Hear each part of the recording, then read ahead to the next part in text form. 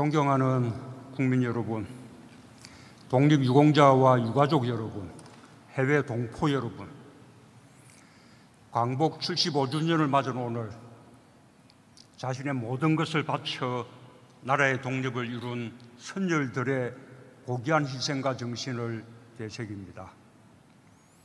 오늘 경축식은 생존 애국지사님들을 맞이하는 것으로 시작했습니다. 이무철 지사님은 101세이시고 다른 세 분도 백수에 가까우신 분들입니다. 어떤 예우로도 한 분한 한 분이 만들어 온 대한민국의 자랑스러운 발전과 긍지에 미치지 못할 것입니다. 지금 우리 곁에 생존해 계신 애국지사님은 31분에 불과합니다. 너무도 귀한 걸음을 해주신 이무철, 김영관, 이영수, 장병하 애국지사님께 깊은 존경과 감사를 표하는 힘찬 박수를 부탁드립니다.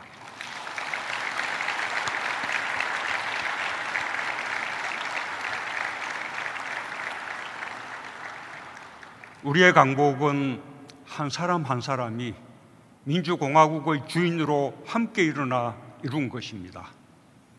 자기 삶의 주인공으로 크고 작은 성취를 이룬 모든 분들이 오늘을 사는 우리의 뿌리가 되었습니다. 선열들은 함께하면 어떤 위기도 이겨낼 수 있다는 신념을 거대한 역사의 뿌리로 우리에게 남겨주었고 우리는 코로나를 극복하는 과정에서도 함께 위기를 이겨내며 우리 자신의 역량을 다시 확인할 수 있었습니다. 지금 기후 이변으로 인한 거대한 자연 재난이 또 한 번 우리의 일상을 위협하고 있습니다. 그러나 우리는 이 역시 반드시 이겨낼 것입니다. 소중한 생명을 잃은 분들을 비롯하여 재난의 피해를 입은 모든 분들께 깊은 위로의 말씀을 드리며 국민의 생명과 재산을 지키기 위해 끝까지 재난에 맞서고 복구에 최선을 다하겠습니다. 또한 기상 이변이 앞으로 더욱 심해질 것까지 대비하여 반복되는 아픔을 겪지 않도록 국민 안전에 모든 역량을 기울이겠습니다. 대한민국의 자부심이 되어 주신 독립유공자와 유가족 여러분께 경의를 표하며 오늘의 위기와 재난을 반드시 국민과 함께 헤쳐나갈 것을 약속드립니다.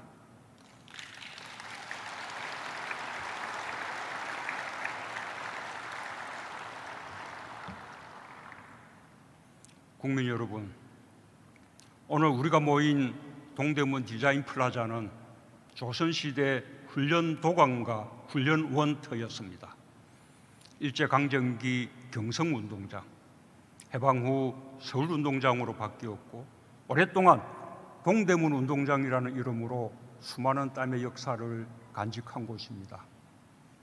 그 가운데 식민지 조선 청년 송기정이 흘린 땀방울이야말로 가장 뜨겁고도 안타까운 땀방울로 기억될 것입니다. 1935년 경성운동장 만미터 경기 1위로 등장한 송기정은 이듬해 베를린 올림픽 마라톤 경기에서 세계 신기록으로 우승했습니다. 일본 국가가 연주되는 순간 금메달 수상자 송기정은 월계수 모목으로 가슴에 일장기를 가렸고 동메달을 차지한 남성용은 고개를 숙인 채 눈을 감았습니다. 민족의 자존심을 세운 위대한 승리였지만 승리의 영광을 바칠 나라가 없었습니다. 우리의 독립운동은 나라를 되찾는 것이자 동시에 개개인의 존엄을 세우는 과정이었습니다. 우리는 독립과 주권 재민의 민주공화국을 수립하는 혁명을 동시에 이루었습니다. 다시는 누구에게도 지지 않는 당당한 나라를 만들고자 하는 우리 국민의 노력은 광복 후에도 멈추지 않았습니다. 우리는 원조를 받는 가장 가난한 나라에서 세계 10위권의 경제 강국이 되었고 독재에 맞서 세계 민주주의의 이정표를 세웠습니다. 국가의 이름으로 개인의 희생을 요구하고 인권을 억압하던 시대도 있었지만 우리는 자유와 평등, 존엄과 안전이 국민 개개인의 당연한 권리가 되는 나라다운 나라를 향한 발걸음도 멈추지 않았습니다. 우리 국민들은 많은 위기를 이겨왔습니다. 전쟁의 참화를 이겨냈고 외환 위기와 금융 위기를 극복했습니다. 일본의 수출 규제라는 위기도 국민들과 함께 이겨냈습니다. 오히려 아무도 엄들 수 없는 나라로 도약하는 기회로 만들었습니다.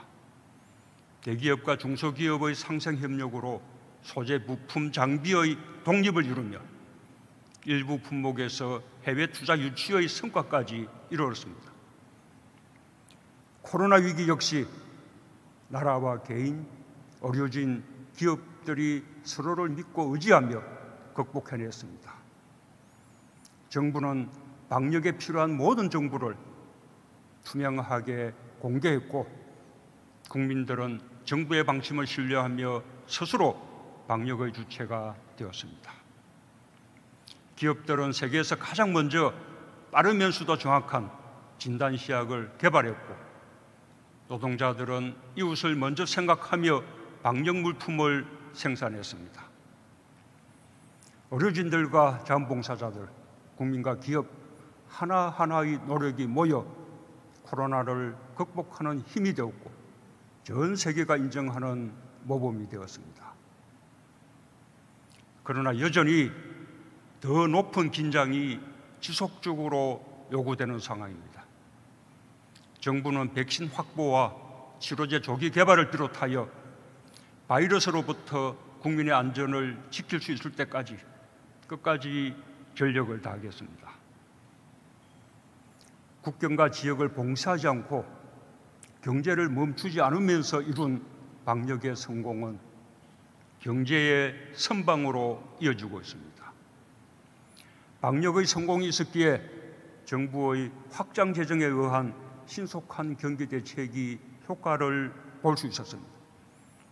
전 세계적인 경제 위기 속에서도 한국 경제는 올해 OECD 37개국 가운데 성장률 1위를 기록하고 GDP 규모에서도 세계 10위권 안으로 진입할 것으로 전망되고 있습니다. 많은 고통을 겪으면서도 위기를 기회로 바꾸고 있는 우리 국민들께 다시 한번 존경과 감사 인사를 드리지 않을 수 없습니다.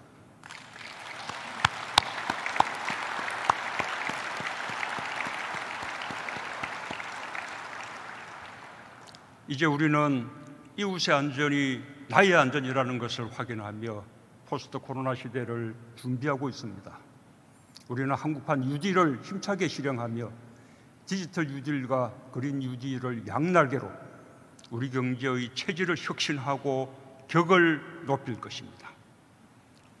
추격형 경제에서 선도형 경제로 탄소 의존 경제에서 저탄소 경제로 대한민국을 근본적으로 바꾸며 다시 한번 도약할 것입니다. 한국판 유질의 핵심을 관통하는 정신은 역시 사람 중심의 상생입니다. 한국판 유질은 상생을 위한 새로운 사회 개혁이며 고용 사회 안전망을 더욱 강화하고 사람에 대한 투자를 늘려 번영과 상생을 함께 이루겠다는 약속입니다. 무엇보다 중요한 것은 격차와 불평등을 줄여나가는 것입니다. 모두가 함께 잘 살아야 진정한 광복이라 할 수 있습니다. 우리와 미래 세대 모두를 위한 지속 가능한 발전의 길에 국민 여러분께서 함께 해 주실 것이라 믿습니다.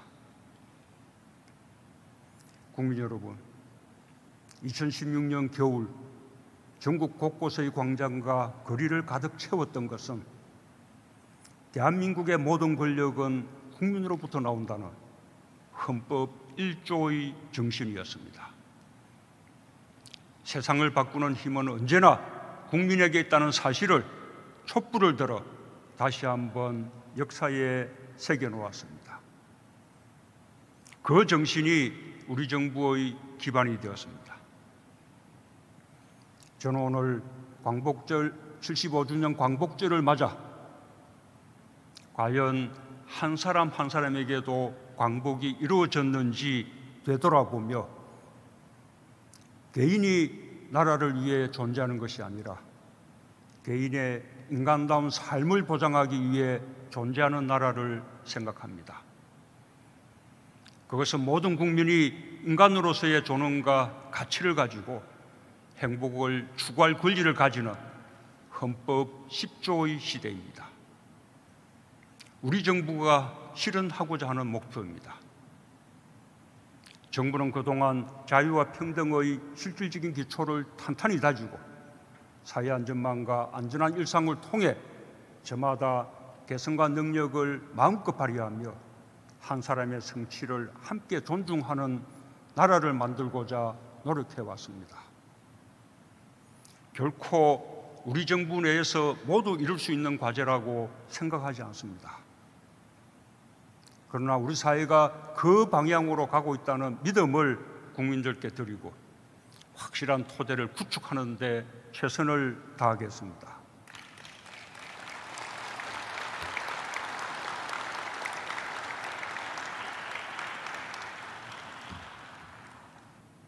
우리는 대한제국 시절 하와이, 멕시코로 노동 이민을 떠나 조국을 잃고 돌아오지 못한 동포들을 기억합니다. 그 눈물겨운 역사를 결코 잊어서는 안 됩니다. 조국은 동포들을 지켜주지 못했지만 그분들은 오히려 품삯을 모으고 한 숟갈씩 살을 모아 임시정부의 독립운동 자금을 지원하며 해외 독립운동의 뿌리가 되어 주었습니다. 우리는 해방된 조국과 가족의 품으로 끝내 돌아오지 못한 동포들도 끝까지 기억해야 합니다. 나라가 국민에게 해야 할 역할을 다 했는지, 지금은 다 하고 있는지 우리는 물어야 합니다. 대한민국은 이제 단 한 사람의 국민도 포기하지 않을 것입니다. 그만큼 성장했고 그만큼 자신감을 갖고 있습니다. 2018년 4월 30일 가나 해역에서 진압되었던 우리 선원 3명이 구출 작전을 수행한 청해 부대 문무대왕 함과 함께 조국으로 돌아왔습니다. 2018년 7월에는 리비아 무장대원에게 진압된 우리 국민이 2020년 7월에는 서아프리카 베냉 해역에서 진압된 선원 5명이 무사히 구출되었습니다. 코로나 상황에서도 군용기를 이라크에 급하여 우리 근로자 293명을 국내에 모셔왔습니다. 코로나 확산이 심각한 7개 나라에는 특별수송기와 군용기, 대통령 전용기까지 투입해 교민 2천 명을 국내로 안전하게 이송했고 전세기를 통해 119개국 4만 6천여 명에 이르는 교민들을 무사히 모셔왔습니다. 3.1운동과 임시정부 수립 100주년이었던 지난해 해외 독립유공자 다섯 분의 유해를 고국으로 모신 것도 뜻깊습니다. 자신의 존엄을 증명하고자 하는 개인의 노력에 대해서도 국가는 반드시 응답하고 해결 방법에 대해 함께 지혜를 모아야 할 것입니다. 2005년 네 분의 강제징용 피해자들이 일본의 징용 기업을 상대로 법원에 손해배상 소송을 제기했고 2018년 대법원 승소 확정 판결을 받았습니다. 대법원은 1965년 한일 청구권 협정의 유효성을 인정하면서도 개인의 불법행위 배상 청구권은 소멸하지 않았다고 판단했습니다. 대부분의 판결은 대한민국의 영토 내에서 최고의 법적 권위와 집행력을 가집니다. 정부는 사법부의 판결을 존중하며 피해자들이 동의할 수 있는 원만한 해결 방안을 일본 정부와 협의해 왔고 지금도 협의의 문을 활짝 열어두고 있습니다. 우리 정부는 언제든 일본 정부와 마주 앉을 준비가 되어 있습니다. 함께 소송한 세 분은 이미 고인이 되셨고 홀로 남은 이춘식 어르신은 지난해 일본의 수출 규제가 시작되자 나 때문에 대한민국이 손해가 아닌지 모르겠다 하셨습니다. 우리는 한 개인의 존엄을 지키는 일이 결코 나라에 손해가 되지 않는다는 사실을 확인할 것입니다. 동시에 삼권 분립에 기초한 민주주의, 인류의 보편적 가치와 국제법의 원칙을 지켜가기 위해 일본과 함께 노력할 것입니다. 한 사람의 인권을 존중하는 일본과 한국 공동의 노력이 양국 국민과 우호와 미래 협력의 다리가 될 것이라 믿습니다. 국민 여러분, 동대문 운동장은 해방의 환희와 남북 분단의 아픔이 함께 깃든 곳입니다. 1945년 12월 19일 대한민국 임시정부 개선 전국 환영대회가 열렸고 그날 백범 김구 선생은 전 민족이 단결해 자주 평등 행복의 신한국을 건설하자고 호소했습니다. 그러나 1949년 7월 5일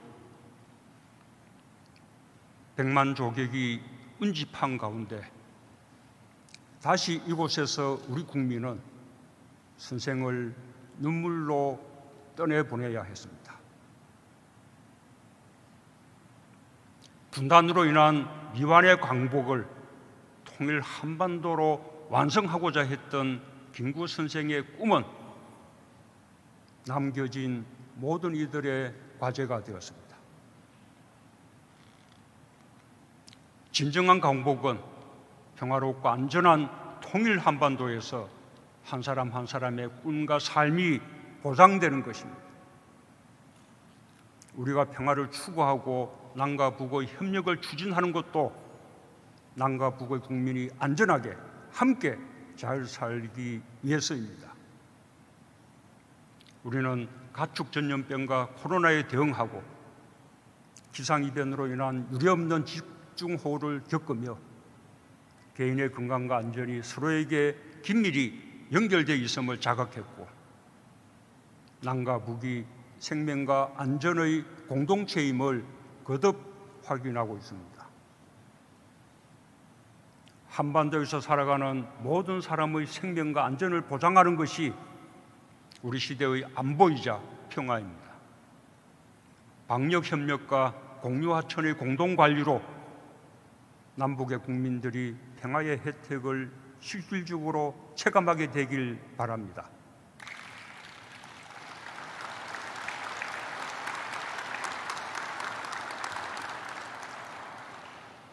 보건의료와 산림협력, 농업기술과 품종개발에 대한 공동연구로 코로나 시대 새로운 안보 상황에 더욱 긴밀히 협력하며 평화 공동체, 경제 공동체와 함께 생명 공동체를 이루기 위한 상생과 평화의 물꼬가 트이길 바랍니다.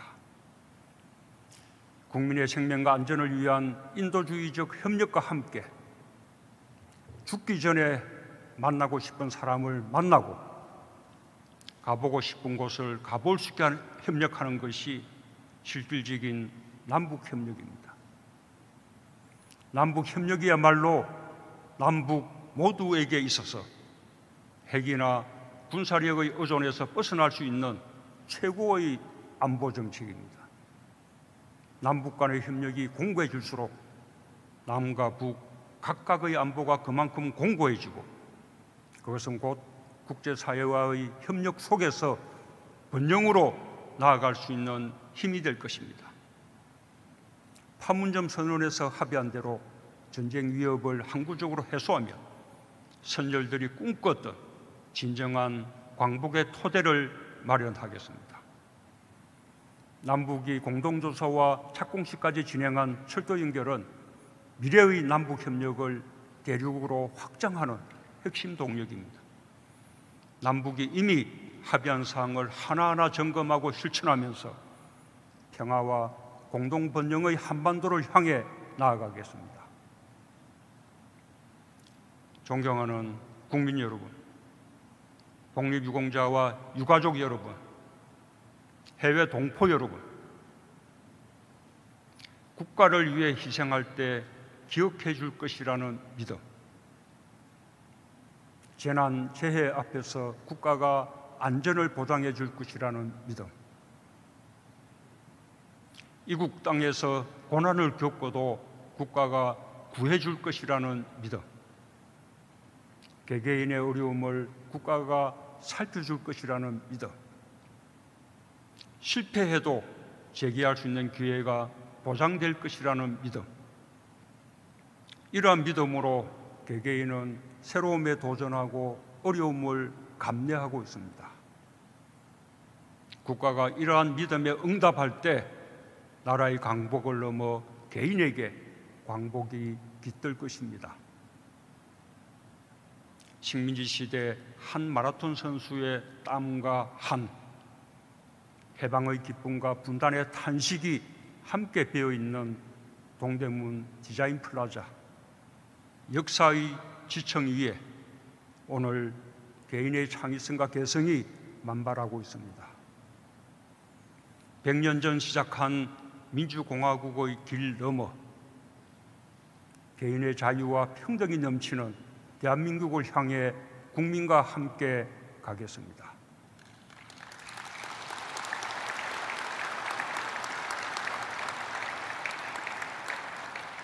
선열들이 꿈꾼 자주 독립의 나라를 넘어 평화와 번영의 통일 한반도를 향해 국민과 함께 가겠습니다. 감사합니다.